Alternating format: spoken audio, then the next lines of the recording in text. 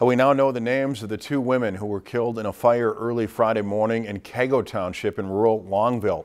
The Cass County Sheriff's Department says 86-year-old Alice Moe of Longville and 48-year-old Tony Mix of Remer were killed in the house fire along Deer Run Drive. The initial investigation reveals the victims died from smoke inhalation. The fire was reported around 12:30 a.m. on Friday, and when deputies arrived, the home was fully engulfed in flames. The two victims were found inside the home. The investigation into the fire continues. If you've enjoyed this segment of Lakeland News, please consider making a tax-deductible contribution to Lakeland Public Television.